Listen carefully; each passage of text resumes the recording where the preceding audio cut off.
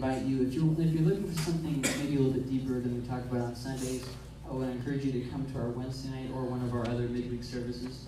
Um, if you'd like to know what other things we have, you can get in contact with myself or Chuck or Pastor, or it's on the website as well.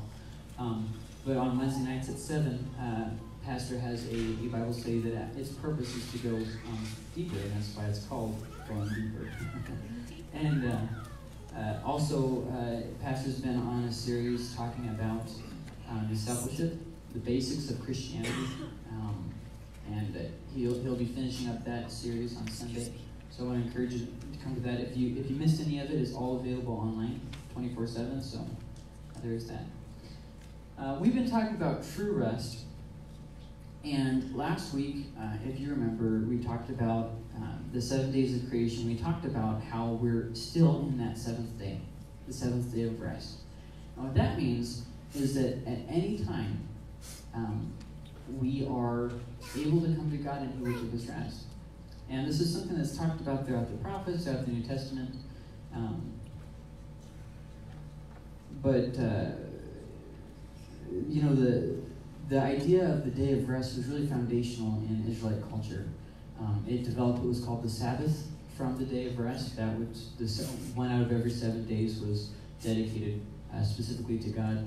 Um, and also, uh, they developed a tithe system that was based off the Sabbath as well. Except he actually required less on the tithe than he did on um, on the time. He only required a tenth of um, of their income, of their well-being, whereas you required a seventh of their days. So. Um, the land had to have a Sabbath. The, you know, it was everything in, in their culture. Um, what I mean by the land having a Sabbath is every so often they had to have a, a piece of land not used. So, anyways, um, so uh, tonight we're going to look at renewing your strength. When, when I was going through anxiety, people people threw a bunch. Well, I still go through anxiety all the time. In fact, I have it worse now than I did then. But now I'm just better equipped, I guess.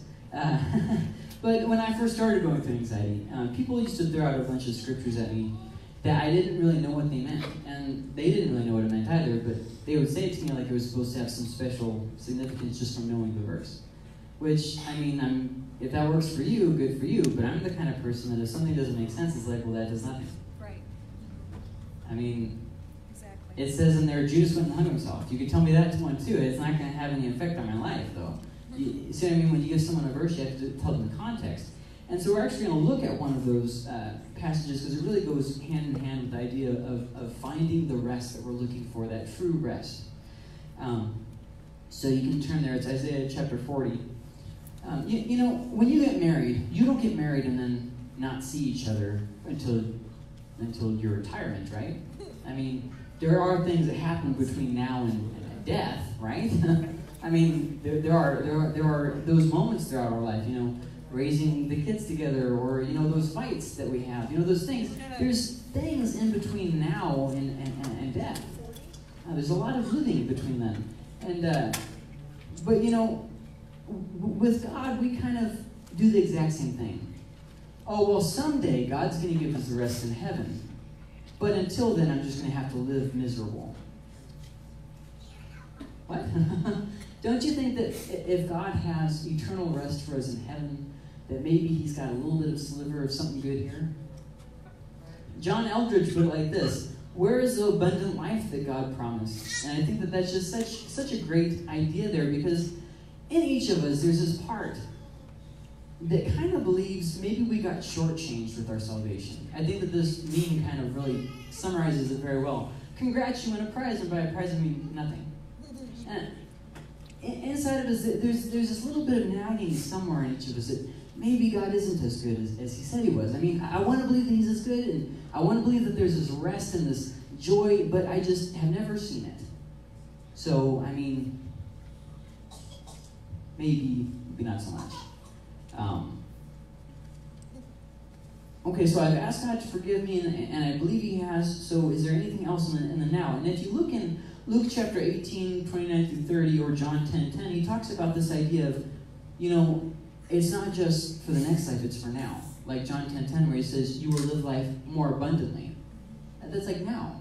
And then when he says, hey, if who, whosoever, you know, abandons their, their mother and father and brother for my sake, you know, it'll be rewarded to them in the next life and here too. You know, but somewhere along the line, we kind of lop that off and say, I have to live this miserable life and then get to heaven and then I'll be happy. But God has rest for us to enter into now. It starts at salvation, but it doesn't end there. God's got lots of things that He wants to do with our life. And He's got a joy that we don't even, we haven't even experienced yet. He's got a peace that goes beyond our understanding. And on that note, He's also got rest for us. So Isaiah chapter 40, starting in verse 27. Why do you say, O Jacob, and assert, O Israel, my way is hidden from the Lord, and the justice due me escapes the notice of my God? Do you not know? Have you not heard? The everlasting God, the Lord, the creator of the ends of the earth, does not become weary or tired. His understanding is inscrutable or unsearchable. He gives strength to the weary, and to him who lacks might, he increases power. Though youths grow weary and tired, and vigorous young men stumble badly, yet those who wait for the Lord will gain new strength. They will mount up with wings like eagles. They will run and not get tired. They will walk and not become weary. Okay, what do I have to do for that? What do I have to do for this whole eagle thing? This sounds good. This sounds like, you know, living above my problems. This sounds like living in joy. Let's do that. Where's the sign up sheet? Uh, but then somewhere it's like, well, so what does that actually mean? how do I get from here to, to there? You know, and so we see this, this, this divide.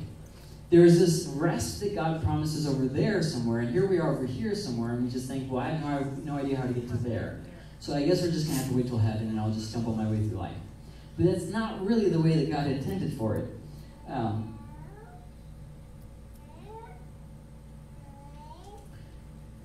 But there are some th- some very stupid things that we believe that keep us from rest. And I think that if we don't look at those things, we're not going to be able to really look at how to do this thing, this Isaiah 40 thing. This thing that we're looking at. How to find that renewed strength bit. If we don't look at this.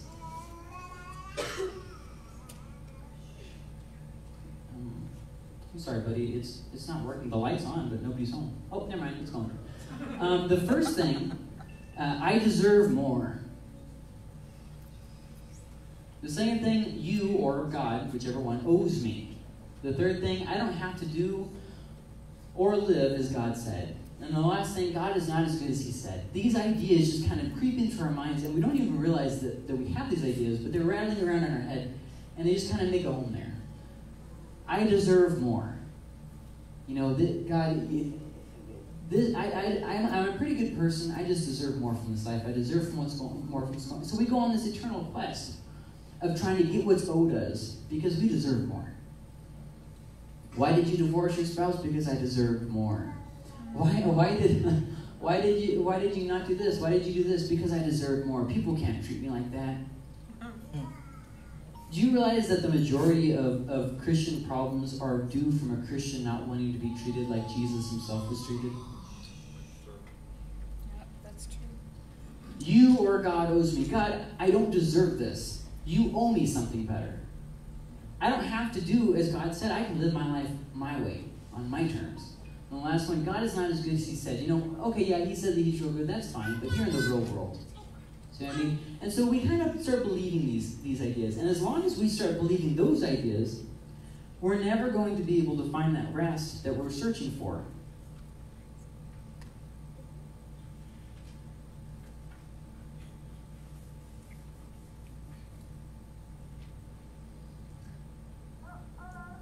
So, in just a real quick recap on Isaiah chapter 40, um, to kind of walk us into this verse that we're, looking at, at verses 37, I'm sorry, 27 through 31. So, that, uh, what's happening before in the chapter? Because remember, if you don't if you don't read what's around a verse, um, you're not going to get the verse. Now, it really doesn't do us too well to read after verse 31 because that takes us into chapter 41. And if you know anything about the books of prophecy, they're not really arranged in any specific order, like chronological or anything they're just kind of grouped together and maybe some main ideas, but not really going to help you because that's a completely different prophecy. So we don't want to look at chapter 41 because it's a different prophecy. Well, instead, we want to uh, split back a few verses and kind of see what's going on in this in this prophecy. So it starts out in verses 1 and 2 Comfort my people, says your God, speak kindly to Jerusalem and call out to her that her warfare is ended, that her iniquity has been removed. So let me just kind of give you a recap. Jerusalem wasn't gonna wasn't gonna be destroyed until uh, 586 BC. Now Isaiah prophesied way before that. Isaiah was prophesying at a time when Jerusalem wasn't even in danger of falling. And so Israel, the northern kingdom, fell, and, and Judah, Jerusalem, the, the, the southern part, still didn't fall. For a hundred and some odd years, it didn't fall. And then it would fall, and then they would come back. So Isaiah is prophesying about them coming back when they haven't even left in the first place. So we're talking about him prophesying so far in advance that they're probably thinking, Isaiah, what are you smoking? Are you crazy? We're doing fine, buddy. We're doing fine. And uh, so, the, so here he, he starts out the same "Come from my people." So okay, yes, Babylon, which is the power, world power at the time to destroy Jerusalem, they, they, they would conquer Judah. They would conquer Jerusalem, but and, and although that was a big problem for, for obviously for them, God gave hope before it ever happened. That's an amazing idea. Here he's saying, yes, there's this terrible thing that's going to happen to you. Absolutely, it's, it's going to be bad and it is going to happen. But then he starts giving them comfort for when they when it's when it finishes before it even began. Think of think of if God said something like this. Isaiah. I'm going to use you as an example, okay? Um, okay, so you've made me mad. You're going to have cancer in about 20 years. Okay, now, let's say I go to you the next day and say, oh yeah, by the way, after you struggle with cancer for seven, for, for seven years, uh, then I'm going to come and I'm going to completely heal you and you're going to be totally fine. You're going to die in perfect health. Like, what are you talking about, God? This is so far off into the future. Like, what? And that's exactly what we have going on here. So, okay, uh, Babylon would destroy Judah, but God, God's giving them hope. And you know, this thing is, God did the exact same thing with us. He gave us hope for what would happen before it ever happened. He told us that our families would abandon us. He told us that things wouldn't go great with the government. He told us that all these things would happen long, long time ago. It shouldn't be a surprise to us. I mean, the, the Bible was began to be written 3,400 years ago, and it was finished 2,000 years ago. I think that maybe we missed we missed it. God told us, yes, these bad things are going to happen, but He gave us comfort before it ever happened, too. So part of part of finding rest, I will say this, is listening to God. And if you're not reading your Bible, you really aren't listening to God. So verses three through five. After that, he talks about um, basically how they need to prepare for it because God is going to show up and things won't always be like they are. If you look there, a voice is calling, Clear the way for the Lord in the wilderness, make smooth in the desert a highway for our God. Let every valley be lifted up, and every mountain and hill be made low, and let the rough ground become a plain, and the rugged terrain a broad valley. Then the glory of the Lord will be revealed, and all flesh will be seen. I'm sorry, we'll see it together, for the mouth of the Lord has spoken. So here we see a few things. First off, prepare for it. God's going to do something, prepare for it. The second thing that we see in, in this section here God is going to show up and things won't always be like they are. When we're going through problems, that's the first thing we say. Things are always going to be like this. And we just throw hope out the door because there's no chance of anything ever changing. Or we go to the other extreme and we give ourselves a bunch of false hope. Tonight's going to be the night that everything turns around. All my kids are going to repent and there's going to be rainbows in the sky, and man, oh man, I'm, I'm going to get a, a $10,000 in a check from the government. I mean, everything's going to go great. Well, you know, there's a difference between false hope and reality. you know what I mean? You don't have to lie to yourself. But with that being said, yes, God is doing something, and God will continue to do something because God is not a clockwork God. He doesn't set the clock in motion and just kind of sit back. He has been intimately involved with creation ever since the beginning when his spirit was hovering over the waters. Ever since then, he's been intimately involved in the creation. And even more so, us, more than any other animal or plant or piece of dirt on the entire planet. That's saying something. So this is what Paul, what, what, what Isaiah is saying. He's saying, okay, so I'm, I'm giving you hope for this bad thing that's going to happen. It won't always be bad. And then in verses 6, eight, 6 through 8, he says this, uh, a voice says, Call out. Then he answered, What shall I call out?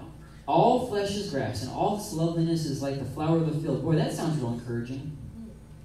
The grass withers, the flower fades, when the breath of the Lord blows upon it, sure the people are grass. Well, I thought you were supposed to be encouraging me here, God. Well, now we get to verse 8. The grass withers, the flower fades, but the word of our God stands forever. In other words, the thing that I've said is not going to pass away. I will remember it. It will come to pass because I said it was going to come to pass. Though everything around you is dead and decaying, my word will endure. What I said will happen will happen. That's a pretty powerful statement when you, because how many times have you woken up and you realize, you know, I'm getting older? Things aren't working like they should be working here, guys. I've got real bad arthritis in my hand, which, by the way, playing guitar, man, it's a beast. But, anyways, with that being said, I, I, I know that, that I'm going to die one day. But what I do know more than that is that God, His word will endure. So then we see in verses 9 through 11, uh, basically, I'm not going to read it all, but summarizing here God cares for us, He rewards us here and, and in heaven. He will comfort us, He will guide us. He didn't abandon us, and he, even in our punishment, He doesn't abandon us. You can read through chapter 40 yourself, but there's a lot of great stuff there. In, ver- in verses 12 through 26, He talks about basically how He's able, how He's powerful, and how He is in control. Did you know that God's in control? Did you know that? It's okay. Whatever's going on, it's all right. Sometimes we're so afraid to let go of something, we're afraid that maybe we'll have an aneurysm if we just lighten up a little bit. It's okay. God's got it. Really, He does. He doesn't need our constant interjection to have things covered. The idea of God having being in control means that there's never a moment when it slips out of his hands. So now now we see this, okay? So so chapter 40 in, in broad, he's talking about how things won't always be bad, God's gonna work through it, how he will bring about the thing that he said, how he does care and he is able in all these things. And then that takes us to verse 27, and this starts to make a little more sense. Why do you say, O Jacob, and assert, O Israel, or you know, the nation that he's talking to, my way is hidden from the Lord, justice due me escapes and knows my God. God doesn't care. Why do you say God doesn't care? I just told you that He does, and I'm about to tell you even more so what's going to happen. I'm not a God that's going to answer you one day. I'm a God now that if you wait on the Lord, I will renew your strength. Well, see, now that's a little bit different. See, now he's saying something different entirely. Before, he was saying, I will bring something bad in the future, and then I will see you through at the end of it. Now he's saying something else. He said, in the meantime, I will renew your strength. That's something entirely different. That's not when you get back from your exile for 70 years, I'm going to renew your strength then. Because most of these people, these people are going to be dead by then. What does that matter to them? He's talking to people hundreds of years before it happens, and he says, I will renew your strength. So now we have something a little bit more profound. So to the statement, I deserve more, God doesn't care, we see that that's an outright um, an outright lie. So just a little bit of a summary of what I said um, earlier. Prepare for it because God will show up and things won't always be like this. So in verse 27, we have the idea that, oh, God doesn't really care. Now, in verse 28, we find something a little more profound. You can tell that Israel is at the point where they're not real familiar with God anymore. Look at verse 28. Do you not know, have you not heard, the everlasting God, the Lord, the creator of, all, of the ends of the earth, does not become weary or tired. His understanding is unsearchable or inscrutable, depending on what translation. Now, see, that doesn't that doesn't mean a whole lot to us. But back in the day, they believed that gods did get tired. They believed that they weren't all knowing, that they weren't all powerful. Gods oftentimes got in fights with each other, and they would hide stuff from each other. You could hide something from your god, for instance, uh, where they would be unaware of it. Um, they would get tired. They were prone to, to weakness. To, they needed to eat. Uh, all kinds of different stuff like that. So they did believe that. But here we have God saying, I'm not like them. I'm something else. Do you not know, have you not heard the everlasting God, Yahweh? Yahweh, the creator of the ends of the earth, does not become weary or tired. His understanding is unsearchable. He knows what's going on, man. So in verse 29, it says, He gives strength to the weary, and to him who lacks might, he increases power. So, okay. He pays attention to the weak. Okay, all right. This is good because I kind of feel like maybe I'm the weak person here, so this is starting to look good. So then we look in verse 30. Though youths grow weary and tired, and vigorous young men stumble badly. Um, now, I do want to kind of interject here again. The idea here is you get tired, but I don't. It's kind of a contrast. He's contrasting himself with them. But the idea here is overexhaustion. See, we don't really get that in, in the English because once again, translations are never precise. But what he's saying there, here are though youths grow weary, although they become overexerted. Think of think of someone who's training. You ever been to football practice, right? Maybe some of you guys back when you were younger. Uh, you know, you sit there and you practice and you practice. There comes a point when you overexert yourself and you just need to take a break for the day. You can't exercise anymore for that day. You know what I'm talking about? You start to get real shaky and you just can't lift any more weights. That kind of stuff. That is what he's talking about. He's talking about you who are overexerted, not you who are simply tired. Here's the difference. I woke up this morning, I didn't have coffee. I'm a little tired. That's not what he's talking about. I've been fighting this battle day after day after day. I am exhausted. I'm worn out. I've got nothing left to give. That's what he's talking about. Overexerted, exhaustion, gone to the point of struggling with something year after year after year, never seeing it get any better and only getting worse. That. That is what he's talking about. So, just so that we understand the terms here, I, translations are good, but they oftentimes miss things. Um, so God is always able to provide. But how? How do we get to that renewing strength that verse 31 is uh, talking about? So let's, let's read 31 again. Yet those who wait for the Lord, okay, so waiting is clearly tied to this, will gain new strength. They will mount up with wings like eagles. They will run up and not get tired. They will walk and not become weary. Okay, all right. So there's a few things. First off, new strength. Some translations say will renew your strength. That's very misleading. Um, the idea here is getting strength that you didn't have before. Uh, those of you who play video games, you know, your character has like action bars, and after you run out of energy, you, you know, your character doesn't have any more umph, he doesn't have any more stamina attacks. Kind of that, okay? So think about that. And think about you get a second stamina bar. It's kind of like that, okay? So for those who don't play video games, think of you have no energy, and then God gives you a different energy, not your own, that takes the place of the energy that you don't have. So renewing your strength doesn't really cover it. The NASB kind of has a, a, much better idea here. Um, they will gain a new strength. So that's that's quite a deal different. Okay, so we're not talking about simply getting pulling ourselves up by our bootstraps and powering through. We're talking about something else. Okay, we're getting closer to figuring out how to get this new strength deal. So it's a strength they didn't have before. Okay, all right.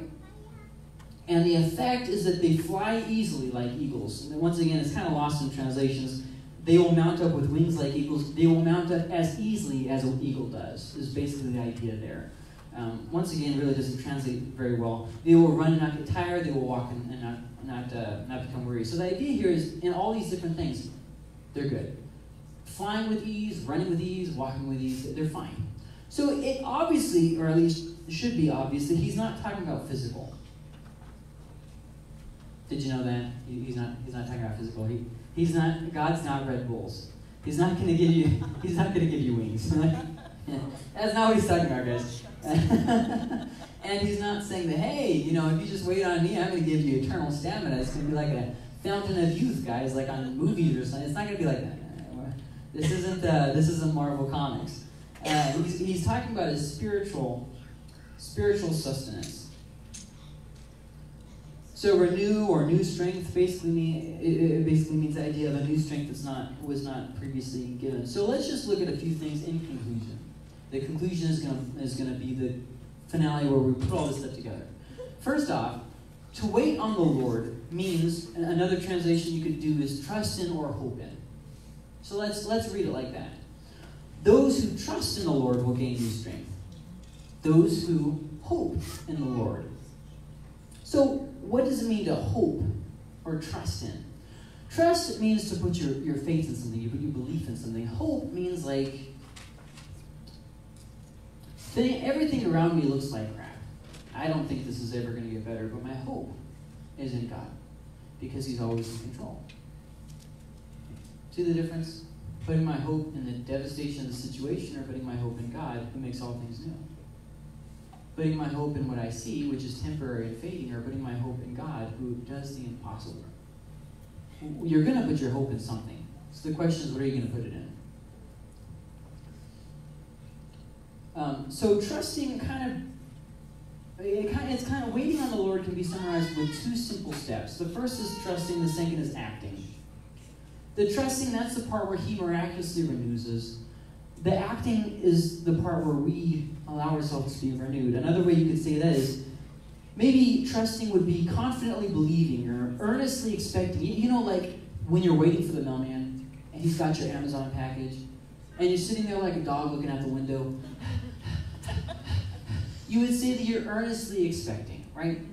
You know it's coming. You looked online. It said that it was out for delivery. You know he's down there somewhere. It's to get here. You're to open that package. What? Don't tell me I'm the only one who gets excited for an Amazon package. Come on. Uh, but anyways, it, it's that earnestly expecting his promises since he is in control. So since God is in control, I am earnestly waiting for waiting for his promises to be fulfilled. I'm waiting with expectation. With expectation.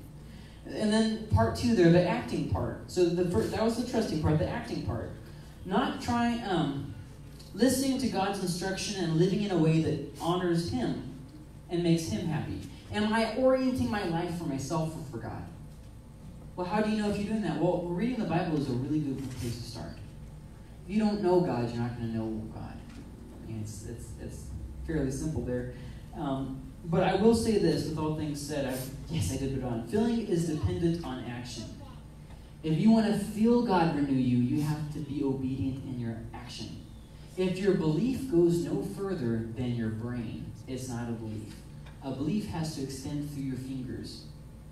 In other words, you need to put your hands where your mouth is. Do you know how you know if you really, really, really love your wife?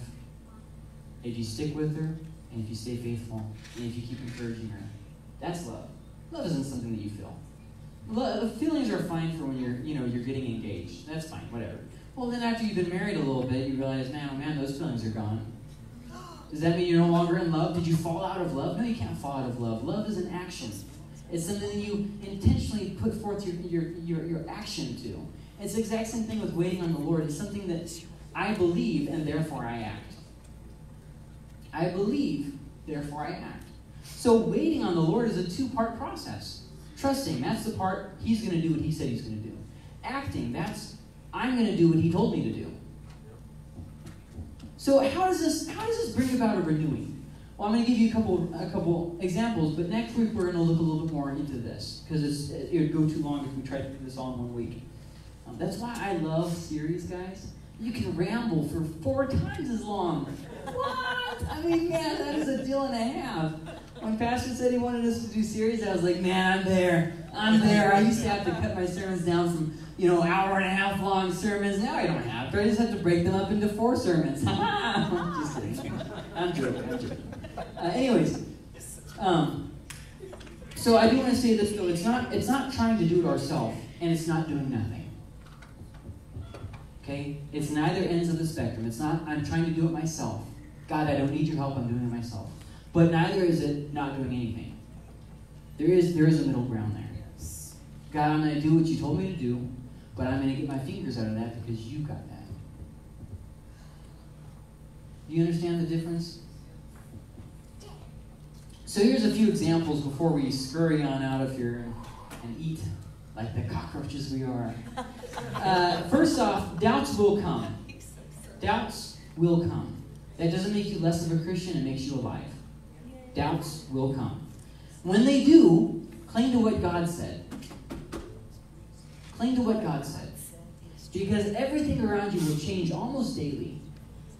Some things won't. Like, for instance, I, I'm going to give you a prophecy here. Somebody is going to post something stupid on Facebook tomorrow. Some things just don't change. But some things do change daily. Daily. Um, and so that brings the idea that we wear out, but God does not. God's word does not. Here's some more examples. If your family abandons you, if your spouse divorces you, if your plans and dreams fall apart, seek God. How, how do I seek God? Read His word, pray, meet together as a church, serve and love people. Don't live your life for yourself. And Pastor shared this this uh, this statistic a couple a couple months ago, and it's also in the new membership class. If you really want to see a change, you have to read your Bible four times per week. And that's going to church just once a week. You don't have to go to church all the time. Going to church one time a week. Or reading your Bible four different days a week. Four different days, and you'll start to see a change. See, the problem is that we don't want to give our time to God, but we want to have the results of having time with God. Well, that's, that's just not going to work. I mean, it's just not going to work. You know what happens if Grace and I don't talk all week and then we get to Saturday? We feel real distant. Do you know why? Because we are. We didn't talk at all. You see what I mean? It's the same thing with God. I mean, it's not like, oh, you know, I, I, I never pray, God, but hey, could you just heap on a slew of blessings on me there? Uh, so, so, some more examples. Um, when, you, when you don't see God working, when it looks like maybe God's forgotten you, when you don't know which way to turn, still holding on to God and acting how He wants you to act and speaking how He wants you to speak. Now, what does that mean? Well, He doesn't want you to lie. He doesn't want you to gossip and spread a bunch of nonsense to people. He doesn't want you to cheat on your wife. He doesn't want you to look at porn. I mean, we could keep going down the list, but you kind of get the idea. It's the idea that we worship even though you're struggling. It's praying. You know, people think I have to feel it all the time in order to worship God. That's just so wrong on so many different levels. It's just so incredibly wrong. I said it, I believe, in Yams, I'm not sure, but I said worship that doesn't cost us anything is pointless.